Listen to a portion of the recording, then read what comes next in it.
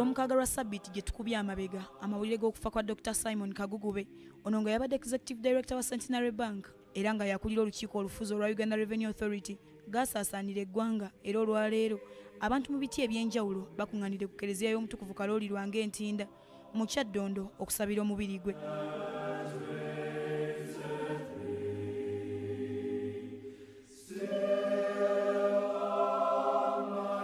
ekitambiro kya mmisa ekyokwebaza obulamu katonda bwawadde dr kagugube kiyimbiddwa omusumba w'essaza ekkulu ery'eruweero paul semwogerere era akuutidde abakristo bulijjo okweteekerateekera okufa nga bakola ebikolwa ebyekisa. In that helplessness, we see clearly the fragility of our expectations. If everything depended on what we could have, we could achieve, and what we could ensure, emmisa eno yeetabiddwamu abantu mu biti ebyenjawulo.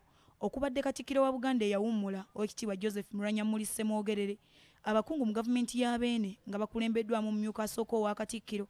Owekitiibwa profesa twakawase kigongo abakungu mu gavumenti eyawakati abaweereza mu bitongole ebyenjawulo omuli ne zibbanka ab'emikwano wamu n'abooluganda lwa dr kagugube. Mu bubaka kamalabyonna wa buganda charles peter mayiga bwatisse omumyuka waasooka era minisita avunaanyizibwa ku nzirukanya y'emirimu wamu n'obuyiiya owekitiibwa profesa twakawasa kigongo atenderezza omugenzi olw'ekitone katonda kye yamuwa ekyokubeera n'abantu nga tafuddeyo ku busobozi bwabwe obwerufu ate era omukozi ennyo so nga ate abadde muyigirize nnyo mukugu nnyo ate omukulembeze ow'eddaala erya waggulu tulumiddwa nnyo naye ekikubagizo katukifune mu ebyo katonda byamusobozesezza okukola.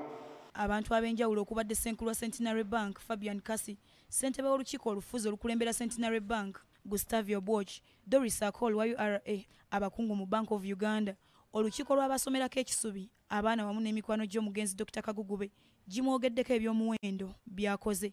He had a great sense of humor and was very pragmatic in his deliberations and executions of the bank strategy and missions. We can all learn from the legacy that he has left. It is hard to find suitable words to pay tribute to this truly remarkable man. He has been a boss, but has also been a mentor and a friend, dispensing wisdom and sometimes dispensing admonishment, but in the ever jocular manner that we are all familiar with. I will miss my father. I will miss my friend. And I will miss the one man who called me sweetheart. And I believe it all